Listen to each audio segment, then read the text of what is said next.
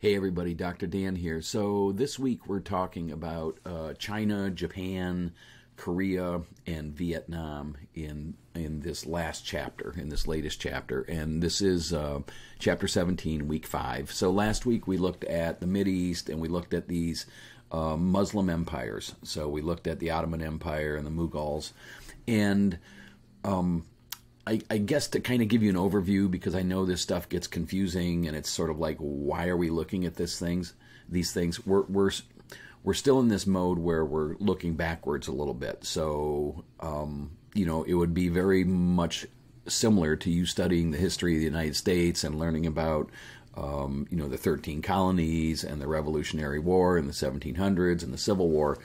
Um, if you can imagine this time period only transfer it to Asia, that's what we're talking about. And the week prior, it's the same time period transferred to these Muslim empires. So we're really in this 1500, uh, 1600, 1700, 1800 sort of time frame.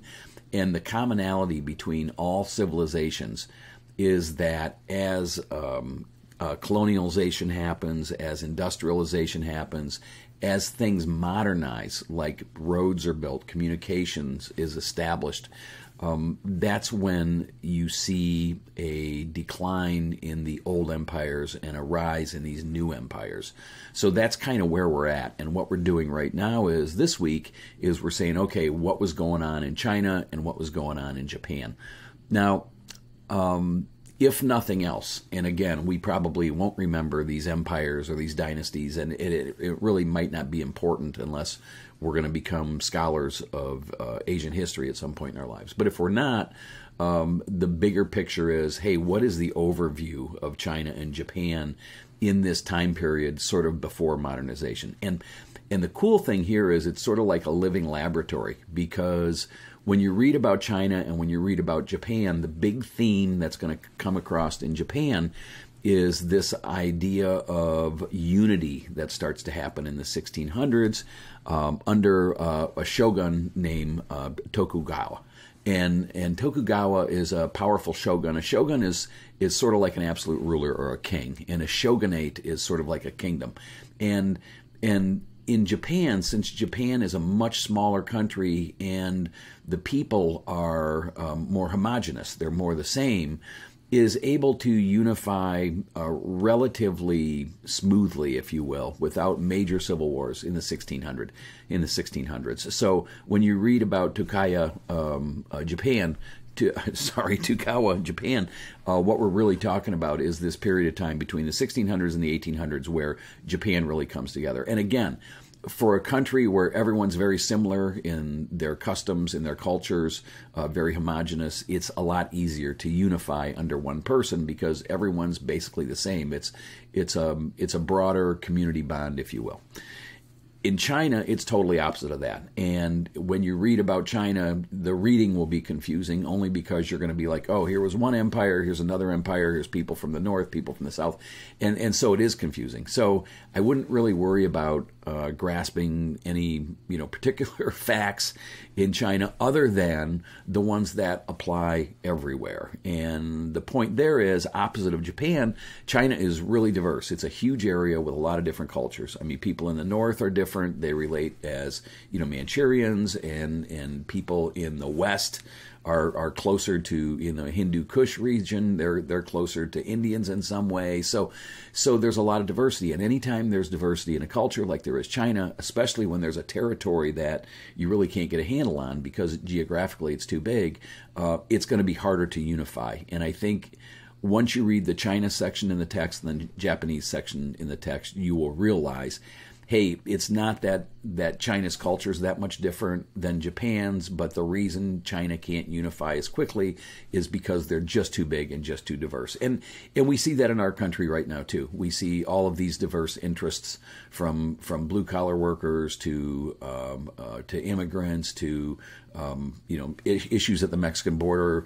Um, the the east and west coasts of this country are heavily Democrat. They're really different than the center of the country. So so these cultural and regional differences make it hard to unify And if you look at what's going on in our country right now, um, the polarization is the is the opposite of unification, and we have a lot of polarization. And the reason is is because we're a very diverse nation, and it's hard to get diverse people all thinking the same way in the common interest. So so that's kind of the big picture. Uh, we have a quiz this week, and again, I, am just pulling out some universal things on the quiz questions that I think are good for us to know to apply to any civilization.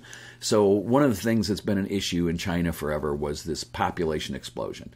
And one of the reasons that happens is because of advances in agricultural technology. Um, think of like faster growing rice, if you will. Um, think about a lasting era of peace in, in China. Um, immunities to disease, better growing conditions all of these things add up to a population explosion. And it's not only in China, this happens everywhere. It happened in England in the 1600s as more crops were introduced, the population expanded. So, so on the quiz, one of the questions is going to be um, what are some of the reasons for China's population explosion under the Qing dynasty? And um, so, uh, just what I said a long period of peace, new crops from the Americas, faster varieties of rice are sort of the biggies. And then also as as things advance, uh, immunities to disease, uh, better growing conditions, that sort of thing. So know the reasons for the China population explosive, uh, explosion, and and then also be familiar with the debates on why industrialization didn't take off in China as quickly as it did in other places.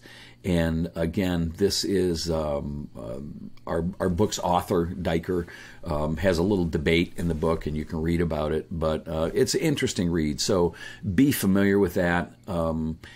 The the biggest thing in China, and it's kind of cool actually, but but the the author argues, and I agree, that the reason industrialization is slower to take off in China is because the Chinese didn't um, didn't really care about capitalism and devices and stuff, manufactured stuff.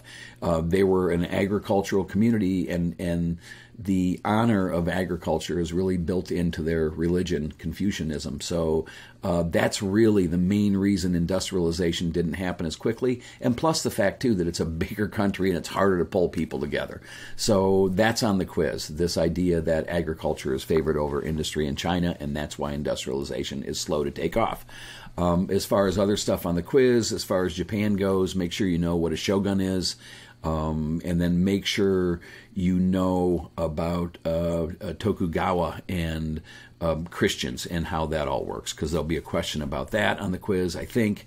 And then also, lastly, not to give the short uh, the short shrift to uh, Korea or Vietnam, but they're the other important players in this time period in Asia.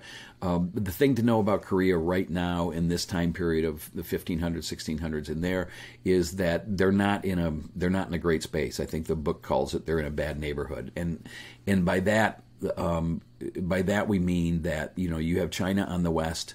Um, Japan on the east and Manchuria on the north of Korea. So they're surrounded by um, countries that have more of a tendency to invade, and that certainly happens in Korea. First with Japan um, in the in the 1500s, and then uh, by the early 1600s, this this threat from Manchuria in the north. So the long and short of it is, in the 1600s, Korea takes on a lot of uh, Chinese traditions, and they're very influenced by Beijing um, at the end of this era. And then also note Vietnam. And the important thing to remember about Vietnam for the purposes of this chapter is to know that uh, the French um, colonized Vietnam to some extent in the 1800s and start to get sort of involved in local affairs. And they're able to do this because Vietnam is undergoing a period of civil wars in the 1700s and 1800s. And again, sort of a universal rule of history that, you know, when there are civil wars in a country, the country is vulnerable for